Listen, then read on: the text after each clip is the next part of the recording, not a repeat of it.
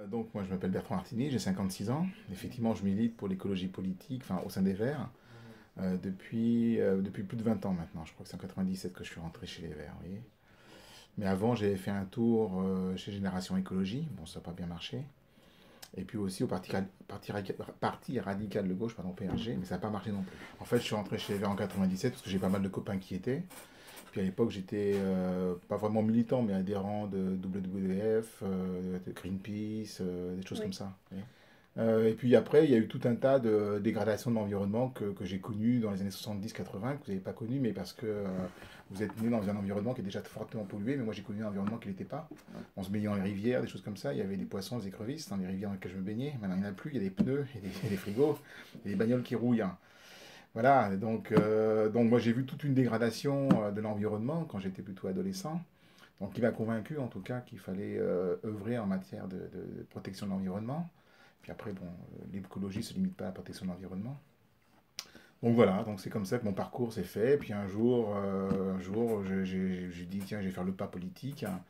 Donc Génération Écologie, mais je me suis aperçu que c'était pas ma tasse de thé, enfin c'était pas, pas la façon dont je voyais les choses. J'avais des copains qui étaient chez les Verts, donc je suis rentré chez les Verts. Aujourd'hui, ma posture, c'est conseiller l'arrondissement et conseiller la métropole. Mm. Je continue à être militant. Si demain je perds mon mandat, euh, enfin je pense qu'on verra, ça c'est les électeurs qui décident, je continuerai à militer. Si demain j'ai un mandat de député, je continuerai à militer. Vous savez, pour moi, le militantisme vers l'écologie, c'est il y a des supports, hein, il y a des supports, il y a des, ça peut être l'association, ça peut être le, le, travail de terrain, ça peut être beaucoup beaucoup de choses. Là aujourd'hui, c'est la politique avec des mandats. Il y a eu un, accord ELVPS, et c'est Philippe Mérieux qui, avait été, était le candidat du PS et, des Verts. Et Thierry Braillard, avec l'appui de Gérard Collomb, a dynamité cette alliance. Donc euh, les élus, enfin les militants écolos d'une part, les militants socialistes d'autre part, de la première circonscription, lui en ont voulu. Donc maintenant il arrive, euh, les militants PS qui étaient plutôt proches de lui, je veux dire au sens Macron du terme, bah, ils sont partis avec Macron, et donc avec Thomas Rudigoz.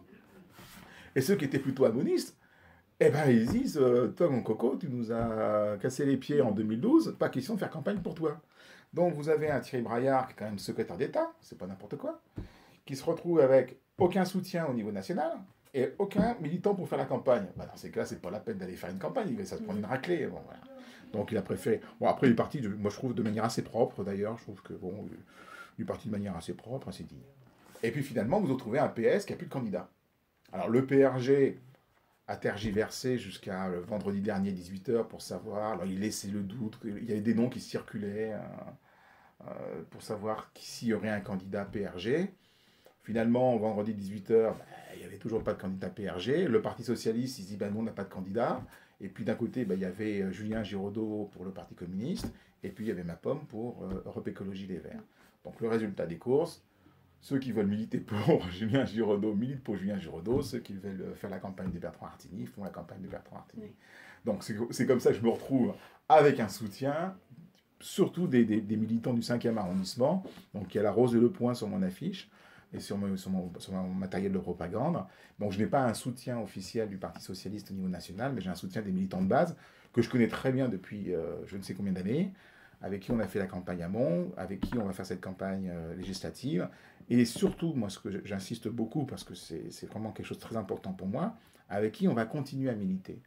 Parce qu'on est quand même un certain nombre de personnes, donc Julien Giraudot en particulier, des militants PS euh, frondeurs, enfin amonistes, euh, des militants écolos. J'espère qu'on aura les gens de France Insoumise dès la rentrée, quand tout ça sera calmé, de manière à ce qu'on puisse réfléchir calmement sur comment on construit une plateforme électorale de gauche en vue de créer une majorité en 2020.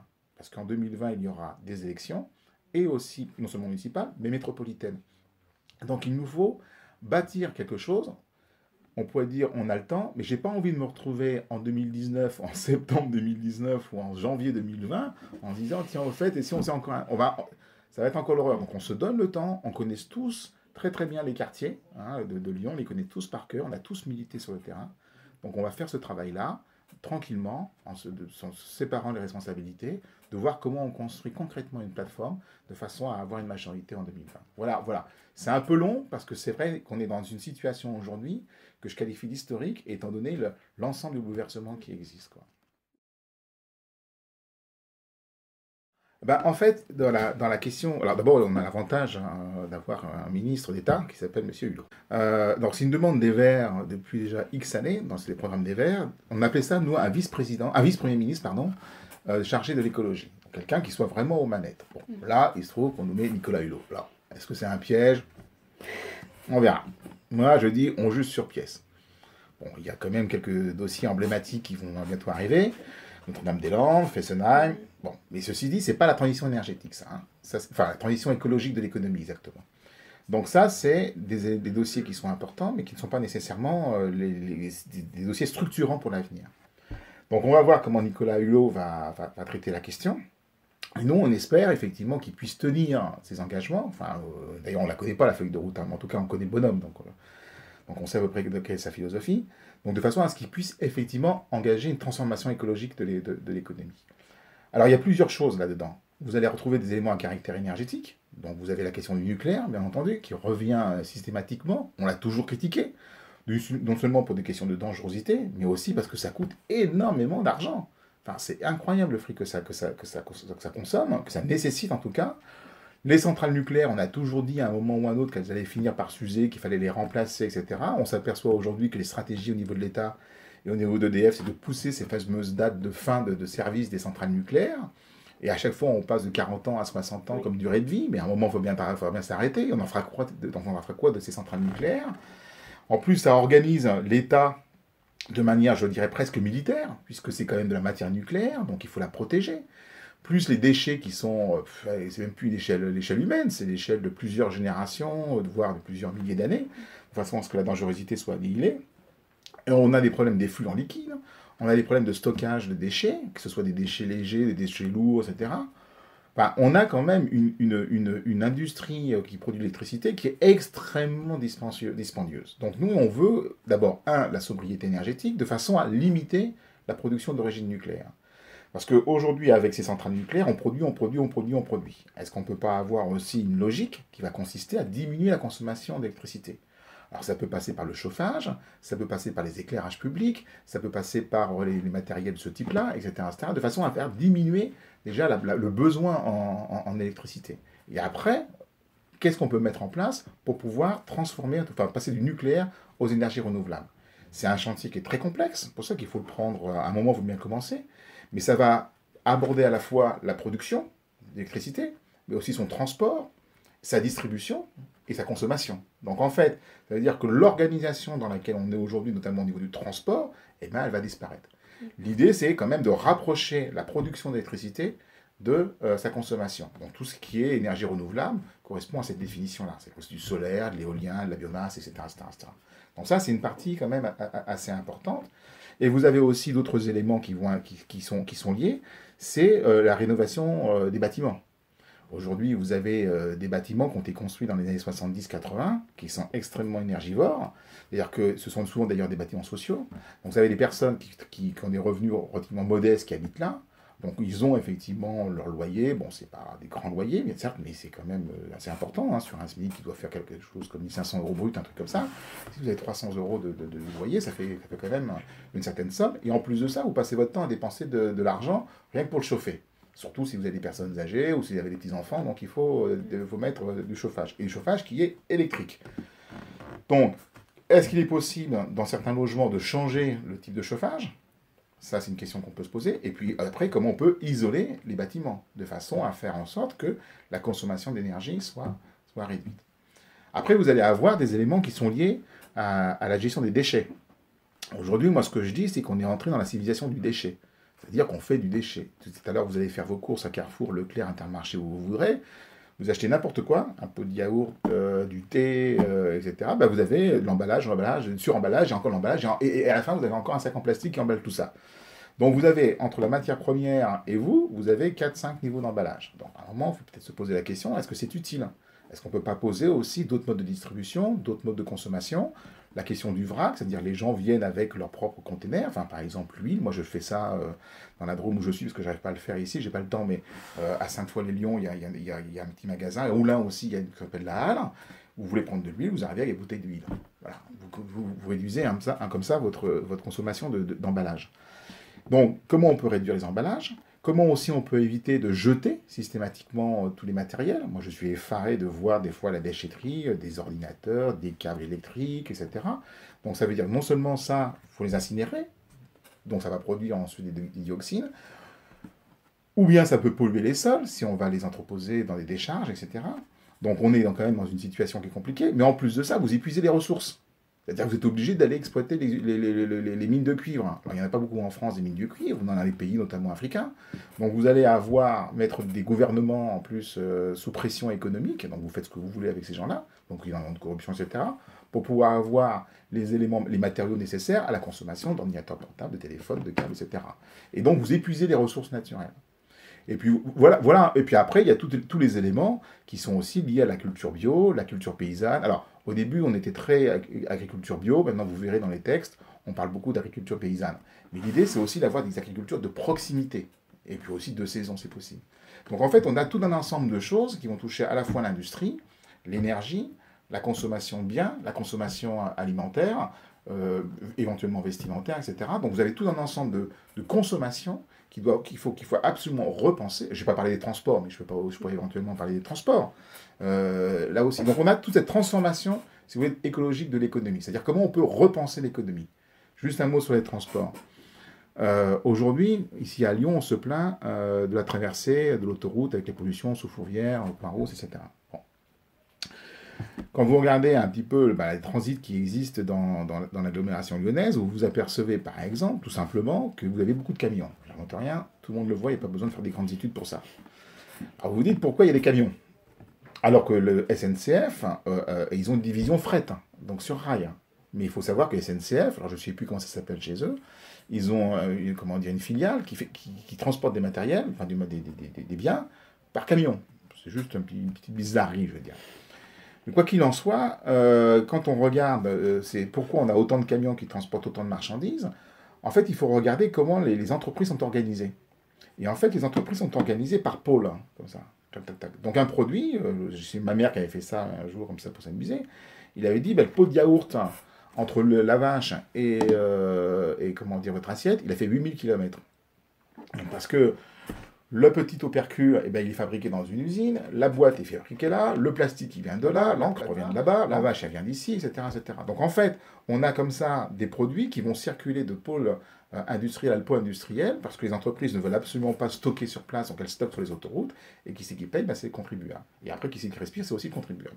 Donc en fait, on a, on, a, on a une économie qui est comme ça, qui est, qui, qui, qui est complètement euh, surprenante, qui a spécialiser les sites de production. Donc pour concevoir un produit, eh ben, il faut qu'à chaque phase, on se déplace d'usine en usine. Voilà, c'est ça euh, aussi, comment on peut réfléchir, en tout cas comment on peut taxer, c'était l'objectif qui avait été qui avait été euh, envisagé à une époque euh, de mémoire par Dominique Voinet l'avait fait. Je pense que Cécile Duflot avait essayé de le faire, mais évidemment, dans ce cas, vous avez les camions qui, qui bloquent tout. Je pense que ça a été un peu brutal, il aurait peut-être fallu peut-être mieux négocier, mais c'est vrai que l'idée, c'est de dire en sorte que le transport de marchandises devient plus coûteux que la production, que, le, stockage euh, sur place. De rassembler en tout cas euh, la production, de manière à modifier l'organisation industrielle. Donc il y a ça, ça aussi. Après, on peut envisager l'étalement, euh, l'étalement comment dire, des, cités, faire du coworking, enfin il y, a, il y, a, plein de sujets qui peuvent en tout cas permettre d'améliorer euh, la qualité de l'air, des, eaux et des sols. Vous avez quand même une population qui est euh, complètement écartée de tout ça, qui est des populations handicap, qui d'abord les sensoriels, les aveugles et sourds muets. Donc ça, c'est quand, même, quand même un peu compliqué. Donc il y, a, des choses qui existent dans les entreprises, mais aujourd'hui, euh, on est dans une, dans une société où le visuel devient extrêmement important. On est sur ordinateur, sur machin, etc.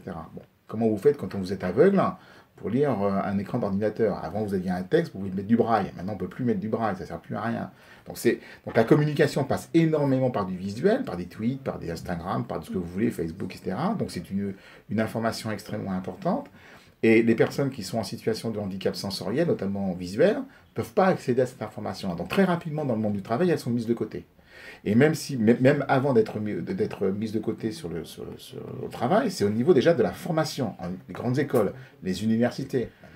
Concernant les et les muets, là aussi c'est un peu compliqué, mais je dirais que la limite, hein, euh, on arrive à trouver des solutions, avec le langage des signes en particulier. Donc il ne faut pas se limiter au handicap, aux personnes à mobilité réduite. Il faut aussi aborder l'ensemble de la, de la problématique handicap. Et ça, c'est quelque chose, effectivement, si moi je suis député, ça c'est mon grand dada. La première chose que je fais, c'est je vais dans la bonne commission. Donc j'irai dans cette commission-là pour effectivement, travailler sur une loi sur le handicap, mais qui aborde l'ensemble des personnes en situation de handicapé et l'ensemble des situations de handicap, c'est-à-dire intégrant également la famille, et pas seulement l'accessibilité, bon, moi je suis très pour, hein, enfin, euh, là-dessus, j'ai aucun souci, mais qui aborde la question de la culture. Est-ce qu'une personne handicapée aujourd'hui, aveugle par exemple, peut aller voir une, exposition de peinture? C'est peut-être ridicule ce que je dis, mais pourquoi pas? Il y a des gens qui ont envie de faire ça. Donc ça, voilà, voilà. Moi, la politique handicap, c'est vraiment mon truc, parce que je suis sensibilisé à ça depuis de nombreuses années, et je pense qu'il faut déposer une loi très rapidement, en tout cas, euh, dès l'automne, enfin au début d'année 2018, hein, s'il le faut, mais qui aborde l'ensemble de la situation de la personne handicapée et pas seulement, je dirais, des problèmes d'accessibilité. Emmanuel Macron veut légiférer par ordonnance, euh, donc il veut modifier le code du travail. Alors, je vais vous dire les choses telles qu'elles sont. Moi, je suis complètement opposé à ça. Je trouve que c'est prendre un, vrai problème, le, problème de l'emploi et, le problème de la compétitivité par le mauvais bout. C'est vraiment une erreur de mon point de vue stratégique. Donc moi, je peux vous assurer que si je suis député, je vais faire ce que je peux pour, euh, essayer de convaincre non seulement lui, enfin lui, je pense que j'aurais pas accès à, son cabinet, mais en tout cas mes camarades euh, députés pour leur dire, attendez, on est en train de faire une grosse connerie là. Pourquoi Bon pourquoi? Aujourd'hui, c'est vrai qu'en France, on a un problème de compétitivité entreprises. Ça, c'est exact. On a un problème d'emploi. Ça, c'est exact. Mais le problème de la compétitivité, il est pris par le mauvais bout parce qu'on pense que la, question de la compétitivité relève essentiellement d'une problématique ou d'un questionnement issu de, l'actionnariat. Alors que de mon point de vue, on ne peut pas avoir des entreprises qui fonctionnent bien si on a des salariés qui sont malades, si on a des salariés accidentés, voire qui sont suicidés. Enfin, c'est pas compliqué, ça marchera jamais. Donc aujourd'hui, dans les entreprises, vous avez beaucoup de salariés qui sont en situation de souffrance. Donc quand vous avez des, personnes qui sont en situation de souffrance, ben, ils vont au boulot le matin stressés comme j'ai pu le voir, ils n'ont pas envie d'y aller, ils n'ont pas envie de se faire emmerder, ils disent si j'ai une idée, je me la garde parce que sinon je vais prendre un coup sur la figure, etc. etc. Donc en fait, ce qu'il faut pour libérer le travail, pour reprendre l'expression qui est chère à notre président de la République, pour libérer le travail, au contraire, il faut accentuer le code du travail, il faut le renforcer de façon à donner beaucoup plus de liberté aux salariés, beaucoup plus de, moyens pour les renforcer euh, leurs idées, leurs valeurs, avoir une forme de reconnaissance en tout cas de leur pénibilité, etc. Et avoir des organisations syndicales qui soient fortes pour pouvoir négocier de manière équilibrée des accords. Parce que Macron, il est bien gentil, mais il n'a jamais bossé dans une entreprise de moins de 3 millions de personnes. Enfin, j'en sais rien, combien ça fait Rothschild.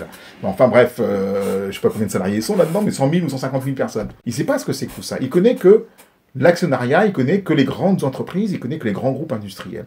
Donc ça, il a une vision complètement euh, fausse de, la situation. Les grands, groupes les grands groupes de boîtes, les grandes banques, les grandes industries, les, transports, etc., SNCF, EDF, éventuellement les banques, etc., ils ont un dialogue social qui est très bien organisé. Quasiment, c'est des, ce sont des institutions. c'est un mode de fonctionnement, ça tourne, ça roule, et même pour certaines d'entre elles, ils n'ont pas attendu d'ailleurs les évolutions du Code du travail pour faire un petit peu d'innovation dans le domaine. Mais ça va représenter quoi? 40, 100 boutiques? Alors que derrière, vous avez plusieurs milliers ou centaines de milliers d'entreprises qui font entre 50, 300, 500 salariés. Ou les organisations syndicales ne vivent pas du tout les mêmes choses. Elles n'ont pas les mêmes moyens, elles n'ont pas les mêmes ressources. Les relations sont beaucoup plus tendues. Le chantage à l'emploi, etc., etc., etc. Donc, vous avez des centaines, des millions de salariés aujourd'hui qui sont sous pression qui sont stressés, qui vont pas bien, qui ont des stratégies d'évitement, soit individuelles, soit collectives, etc. Donc il faut au contraire renforcer ces gens-là. Il faut les aider de manière à ce que leurs conditions de travail soient meilleures, qu'il y ait de la reconnaissance et qu'ils aient envie de bosser pour leur boîte. Vous voyez donc euh, je pense qu'il se trompe complètement, Emmanuel Macron, dans, sa perception de, la situation. Et puis il y, a, une troisième chose quand même qui est assez, de point de vue, importante euh, et qu'il oublie complètement, enfin qui, veut faire, que je trouve totalement euh, surprenante, enfin complètement idiote, même carrément, c'est qu'il veut fusionner les CE et les CHSCT. Donc ça veut dire que vous aviez une instance qui a été mise en place par le gouvernement, par le premier gouvernement de Mitterrand en 81, qui a été de mettre en place des comités d'hygiène, sécurité, conditions de travail. Ça a été mis en place justement pour pouvoir discuter de manière paritaire avec les directions, entre direction et salariés, de façon à ce que l'on puisse euh, discuter des conditions de travail, des accidents du travail, des maladies professionnelles. Et cette instance-là, le résultat il est quand même assez extraordinaire, a permis de bien comprendre pourquoi on avait des accidents du travail, pourquoi on avait des maladies professionnelles. Et ça a permis, en tout cas, dans beaucoup d'entreprises, de baisser le nombre d'accidents de travail et d'avoir une meilleure reconnaissance des maladies d'origine professionnelle. Donc on est quand même sur quelque chose qui était plutôt positif. Et c'est vrai que ça enquiquine tout le monde parce qu'il faut discuter. Donc le fait de fusionner les comités d'entreprise avec les CHSCT fait qu'il n'y aura plus cet espace de dialogue sur la santé et les conditions de travail. Donc en gros, pour faire simple, ce qu'on peut euh, imaginer, je pense que ça va se passer parce que ça se passe déjà dans certaines boîtes qui l'ont fait, c'est-à-dire que la priorité est portée sur la partie économique et financière et stratégique, c'est fondamental sinon on ferme, et puis la partie conditions de travail, attendez, vous avez un boulot, vous n'allez quand même pas nous casser les pieds. Donc en fait, on va améliorer la productivité, on va mettre la pression sur les salariés, et eux, ils vont avoir une dégradation des conditions de travail, des actions, des actions du travail, et une déficience en matière de reconnaissance des maladies professionnels. Donc moi, je ne comprends pas la logique qui est proposée aujourd'hui par, par, cette, volonté de, réduire le, le, code du travail, de, de l'alléger, soi-disant pour le libérer. Je pense que c'est l'inverse qui va se passer, et je pense que même ça va être contre-productif. Donc effectivement, je suis euh, aujourd'hui, en tout cas, opposé. Donc si, euh, si je suis élu, c'est vrai que la, la première chose que je vais faire, c'est que je vais négocier au pas à pas euh, toutes les mesures euh, qui seront dans la loi d'habilitation sur les ordonnances. Et puis une fois qu'elles seront prises, ben moi je voterai contre, hein, systématiquement, même si je ne veux même pas savoir ce qu'il y a dedans. Donc voilà, je vais négocier, enfin je négocie, je négocierai pas d'ailleurs, je dirais je suis contre. Et puis effectivement, en essayant de convaincre un certain nombre de personnes macronistes pour voter contre, ce qui n'est pas gagné du tout.